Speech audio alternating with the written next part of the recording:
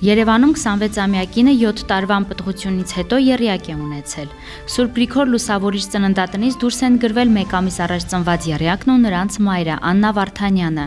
26-ամյա Աննան 7 տարի շարունակ երեխա չի ունեցել։ Հետազոտվելով Սուրբ Գրիգոր Լուսավորիչ ԲԿ-ի մասնագետների կողմից որոշ բուժական միջամտություններից հետո բնական ճանապարհով հղիացել է։ Մանկաբարձ գինեկոլոգ Կարեն Գյոզալյանը նշում է, որ բազմապտուղ հղիությունը մեծ ռիսկայնություն ունի եւ լավ արդյունքի հասնել հասնելու համար հղիից եւ բուժանձնակազմից ահռելի ջանքեր են պահանջում։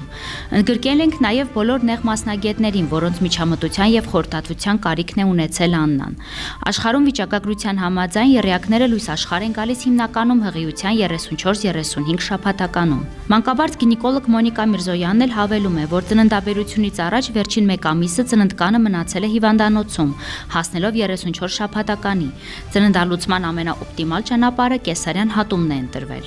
Երեխաները ծնվել են նորմալ քաշով՝ 1 կիլոգրամ 620 գրամ, 1 կիլոգրամ 800 գրամ եւ 2 կիլոգրամ 30 գրամ ու մինիմալ խնդիրներով։ Ծնվելուց հետո եւս 1 ամիս անց են կանցրել ծննդատանը։ Բժիշկները նշում են, որ երեխաները առողջ են, քաշ են հավաքել։ Իսկ այդ ընթացքում բուժանձնակազմը նորաթուխ մայրիկին պատրաստել է 3 երեխաների խնամքին, սովորեցնելով կերակրման եւ նորածիններին առնչվող նրբություններ։ Աննա Վարդանյանը նշում է, որ ուլտրաձայնային հետազոտությամբ երբ բարձվեց, որ երեակ են ունենալու, ամուսինն ու բժշկուհին շոկի մեջ էին։